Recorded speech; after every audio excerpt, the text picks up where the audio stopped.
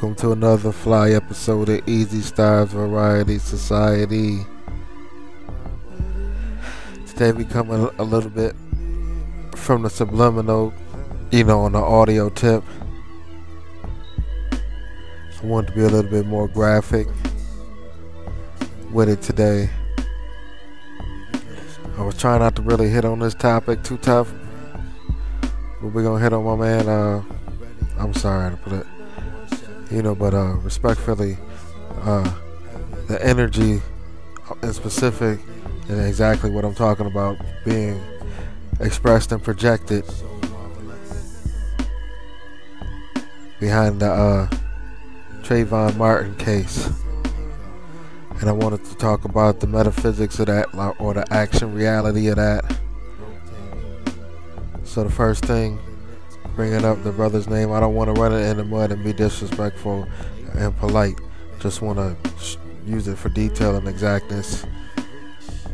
How the energy is being directed. So first, I want the energy is rest in peace, and not only to Trayvon Martin, but to all, you know, family, respected loved ones, you know. And then, you know, again for Trayvon Martin. And again, we're to just have a metaphysical discussion. And overall, it's a whole bunch of cause and effect going on using different polarity tricks as related to the Trayvon Martin movement. That's what I'm to call it. Because it's a movement. This is the movement I'm exacting. Alright, the way I'm gonna approach it is like I have what I consider an ideal outlook and what I consider my ideal outlook basically and also I have my skeptical outlook. And I guess I'm saying everybody should have their ideal outlook and everybody should have their yeah, they should have their own skeptical outlook too. No doubt. So, you know, after you get weeks of it on Facebook, that's where I mostly experience it. It's like the reality, the most like the reality of it is is that it's emotional situation. In the metaphysical speaking and breaking it down to basic blocks is utilizing emotions. Um, fear based and you know, right on that fear energy that's been being stoked in the fires. Uh, this is evoking some anger. And I mean rightfully so in a realistic sense to a point. But you know, fear is never leading to a good. But then, I think when you overcome the initial basic building blocks of the emotions,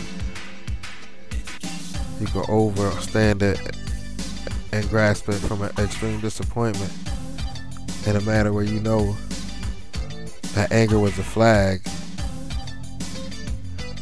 and you're extremely disappointed with that flag, you aim to remove the flag, you can, I mean, that opens that possibility.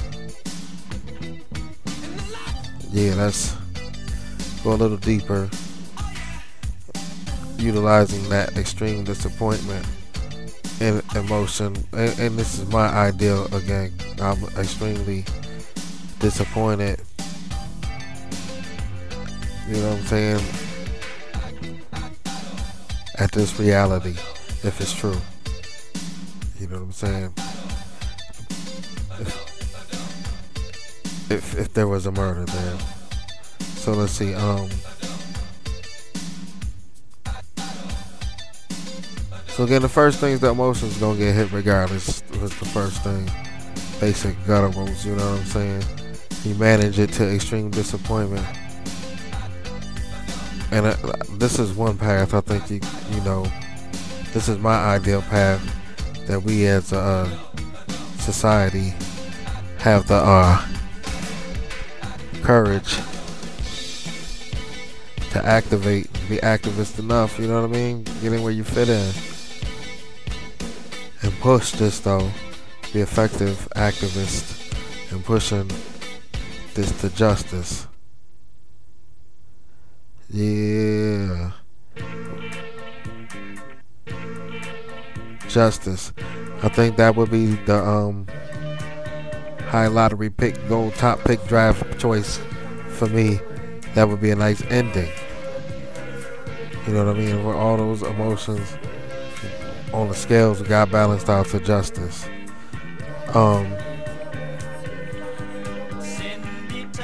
we've been having an activist record as of late with the Occupy movement, and there's some protesting being allowed, but then it gets to the point of strict police state kind of thing to where it's like uh, brutality going on physical harm physical bodily harm. Uh, and I'll, I'll, say the occupy movement is a non-violent movement and they practice non-violent uh, behavior so he would hope that provided justice that would be the ideal thing for me you know, and, and, not just on the Occupy.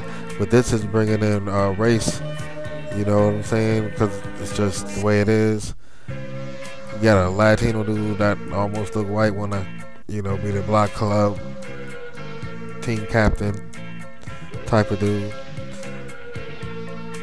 Uh, that brings in Latino, that brings in the image, uh, that brings in white, that brings in, um, Trayvon Black and youth.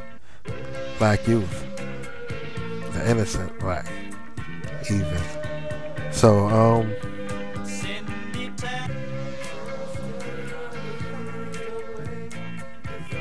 yeah, it brings in the, the uh, racial aspect as well. And, they will be supporting and activating for the justice as well. So, um, moving on. All right. Now, one thing I was struggling with is in the spirit of courage and breaking it down further, but from a more spiritual angle. All right. What I was no- noticing was a more conservative side where you have the idea of conserving a spiritual resonance, you know, maintaining basically. And also resonating, you know, a creative resonance as well. You know, your harmony of resonance says, uh, you know, you you know. Also, I have here the power expectation. We're looking at the lower left hand side of the graphic. I wanted to utilize the graphics. So the resonance and then the power of expectation. Basically along the same line I hold the resonances. You know what you expect resonates and then it goes into the magnetic fields. I mean, you know, that's from uh, organic field of thought, pure thought state to a, you know, down to a magnetic state to a mind electric state, activates, you know, action state, and that action state go back to electric, go back to uh, organic. Did I miss magnetic? Yeah, I probably did more magnetic than the organic than the movement, right? But anyways, you need that conservative side. like I said earlier on Polar Technology 101, everything has a polarity. And we talk actually look at the top of this, even though it's emotions, we got to manage now, right? So we can look at the polarity of courage. That's what we're breaking down the polarity of courage. It takes courage to hold resonance among strain, you know, strain. You know, even in a fight, the cool hand prevails. Been my experience and my lessons from wise ones. So those who can hold their resonance, the cool head, and hold their power expectation, you know, often continue through on their movement. Basically, is what it end up being. So uh, on the other flip side of the spiritual is where my ideal is. Is the I would say the liberal side. The liberal side of spiritual people are um, under the courage emblem. They want to get activated and do you know go into the activist state, do something about it to help justice prevail for you know whatever, no for spiritual reasons. You know what I'm saying? People going through different stages. They go through their own individual experience and lessons and connections and whatever. So let's move on. Justice. So my thing is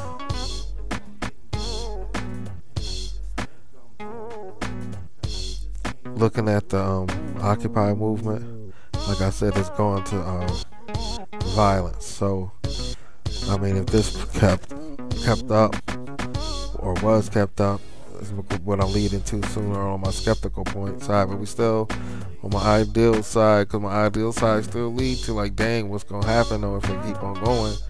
You see what happened with the occupiers, so that also is in the picture uh, as something to consider and be prepared for, maybe not expect. Yeah. Move on. Alright, going on to the skeptical outlook. And instead of, you know, looking at it from a raw point of view, you're looking at somebody who set it up. So it was not really emotion, it's a distraction. But you base it on emotion, you base it, hook it up to fear. Then you hook it up to hate. And then you see what happened in Tulsa. So, I was saying that you already seen that bubbling, anyways. That hate was bubbling, anyways. Man you know, the whole since Obama, man, that's the jump off for that hate to be simmering. And then you got this, and it's giving gateways for the hate to be able to peek his head through. And that hate is angry, and then it's projecting anger, anger to the rest of society. That's what's going on, right?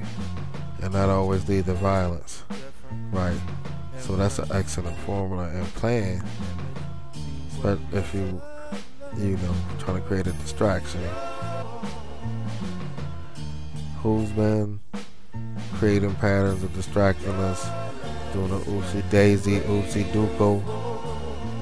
So we look the other way. But I keep taking rights. But you know, I don't want to rights have been removed, though you can say that to a point. To a critical point. So moving on. Alright, so again, taking that distraction a little deeper and just like, man, what if you just feed could feed the hate? Can feed that hate like the Tulsa spreading out. Then you start having a race versus race situation. That's a little deeper too. Ooh, that's a little more raw violent too, kind of in a certain way. It adds definitely addition regardless. You know what I'm saying? But it's violence. So okay, what's at the end of the pot of the rainbow? Why you distracting? So you get uh, show reason why you need to act government or you know whatever, gun removal and then from a hate standpoint, you can open the gate floods of things you can take away because it'll be, like I said, that additional kind of violence with the hate and the race. So you could go gun removal first, easy. Police state maybe, you know what I'm saying, forget heated because it's possible. Then, like, if you have to use, start shooting people, you can eliminate, you know, those that would participate in, in race or race type of violence, get caught in the hate. Those susceptible. Be strong. Next. And again, like I said, even coming from the emotion of the courage, uh, a little anger with anger is the flag for you to activate. And if you're the one providing the distraction, you're projecting violence. You know people are gonna activate because you see they've been doing it through Occupy again, like everybody knows, right? So you project the violence and you know, Occupy is a peaceful thing. And they will get people arrested, but they're not gonna fight back. So it's like a. And sometimes we wonder, hope it doesn't just be a safety valve to vent stress. Maybe we start penetrating legislation so they can't arrest you, and the police can't stand against you. You know what I'm saying? They gotta work for you. Legislation to get that to happen. But anyways, from this I see gun removal still as something that could be pushed at the least. And then a police state maybe, depending, you know what I'm saying, with that extra race might still linger into this because of that kind of a deep thing. And possible double question mark elimination of the lower class you know, people have to start shooting. You know what I'm saying? With a shot. So we don't want to check with that. Now let's just do a little summary right quick. Shoot. Again, the line, I guess, from bottom top to the bottom. The top is on a metaphysical level.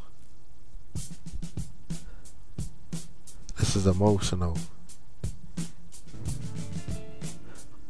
And on the skeptical flip side,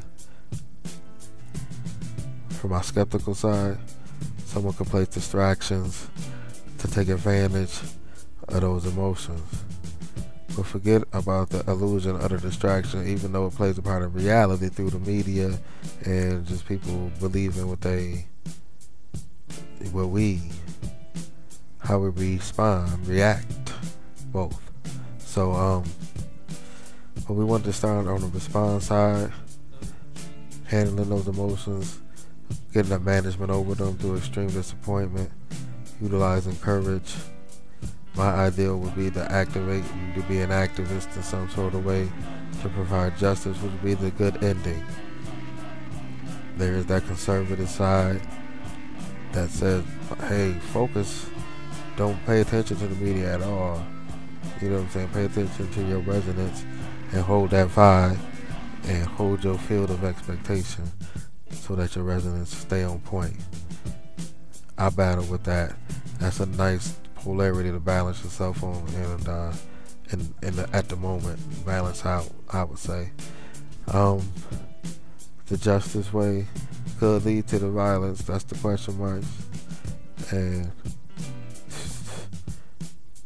they can at least get the gun removal because that way, it usually the people have to back off. Like I said, suggest legislation. But anyways, my skeptical side, and it's a reality as well. The, the fear and the hate produced by the situation, the way it is developing, and it is activating some uh, racial tension, or has a strong possibility to, because it's racial Right? Yeah, yeah. Right. So, if it is a, uh, you look at it from a skeptical side,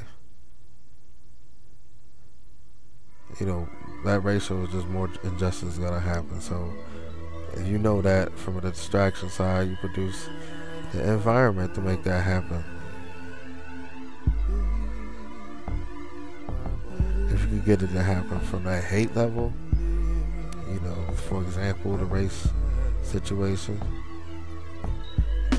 get them crimes and injustices happening, you could definitely get gun removal. Definite, not I don't know about, but closer definitely. You're definitely closer to getting a police state, and definitely closer to like burning, raging violence. It appears. It appears. That's why it's definitely important to hold that conservative side and remember the resonance. Remember there is a word called love and expect it to be able to, to expect that regardless of what you think or not, that it is a reality as well. For that has to be um, dealt with in reality. Don't forget that, because that's that's the um, maybe that's the overall message. Don't forget about love through all of this. You know what I'm saying? Make sure justice gets sought after love. You know what I'm saying? Even if you know you got to put your war paint on, remember some love somewhere, and resonate holla at your boy. Yo, how what is this? Drop it, the Joe Easy Style Variety Society, hitting you with the fly instrumentals. Yeah.